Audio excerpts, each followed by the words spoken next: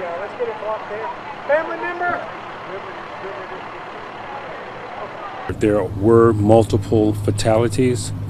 At this time, uh, we can identify who they are until we notify all the parents. To, we just had to move back